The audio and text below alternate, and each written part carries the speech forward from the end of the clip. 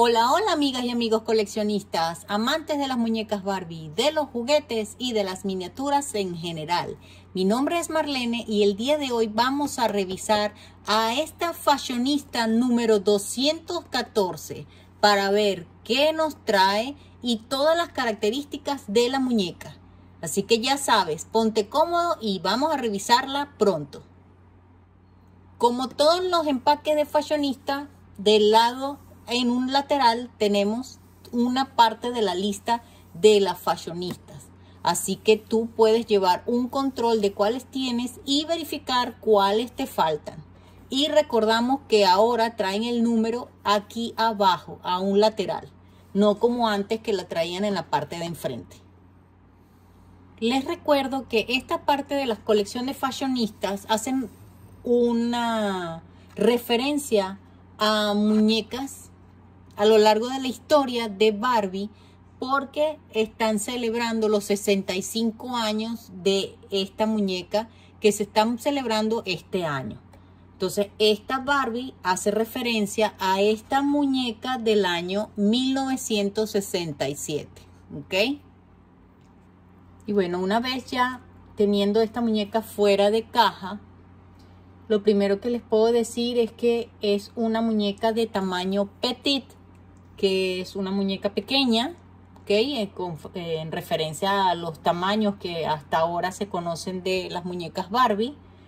Esta muñeca tiene el cabello largo, color castaño oscuro, pero trae una combinación de tonos rosa en la parte de adentro que se ve bastante moderno, bien bonita, se le ve la combinación. La muñeca es de tez blanca, diría que casi tan blanca como las, las asiáticas, para que tengan una referencia de color. La muñeca está ligeramente pixelada, se ve un poco a contraluz, tiene un tono de ojos color café claro, un tono de labial bastante pálido, no diría que es rosado, es como un melocotón, algo así. No trae aretes ni trae ningún otro tipo de joyería, ¿ok? Trae un vestidito blanco que, bueno, a mí particularmente no me gusta mucho. Me parece que está demasiado holgado, demasiado X.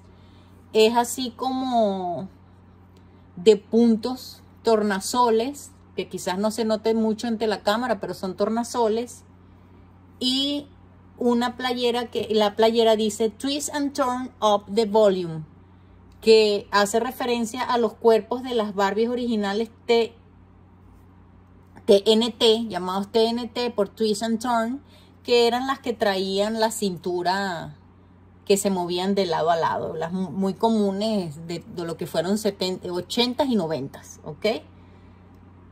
Este vestido es bastante ancho, no trae velcro en la parte de atrás, es una confección bastante sencilla. Es blanco totalmente la parte de atrás, el estampado solo lo trae en la parte de enfrente.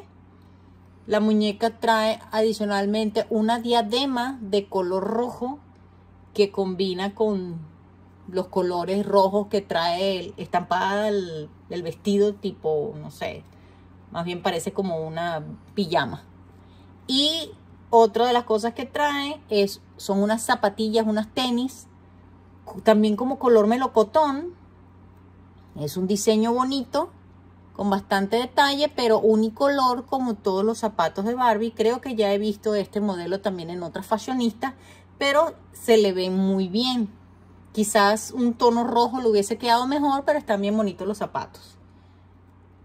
Esta muñequita tiene un molde de rostro del año 2022, ¿ok?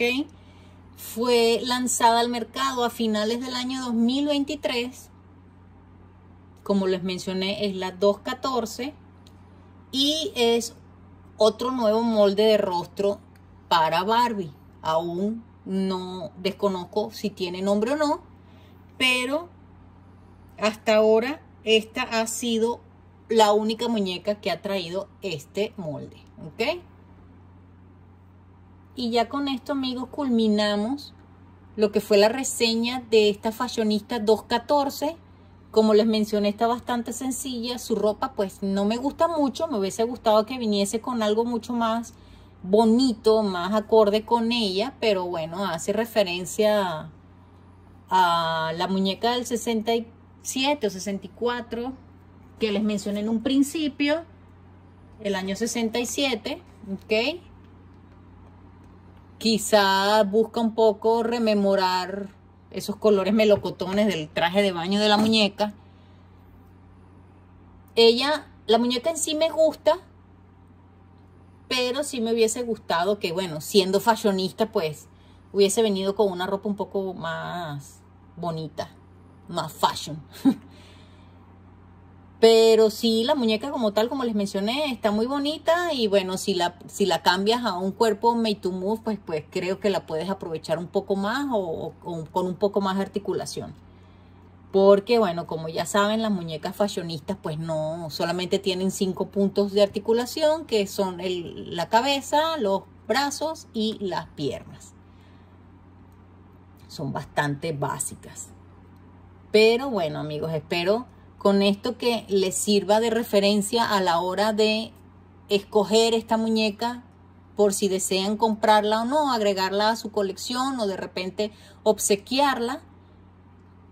Como les digo, me gusta, a pesar de que, bueno, trae un poco de pixelaje en su maquillaje, pero la muñeca está linda como tal, quitándole pues que no trae accesorios y que el vestido no está muy bonito, pues, o por lo menos no está muy bonito para mis gustos, pues sí, la muñeca Mm, está bastante bien, ¿ok?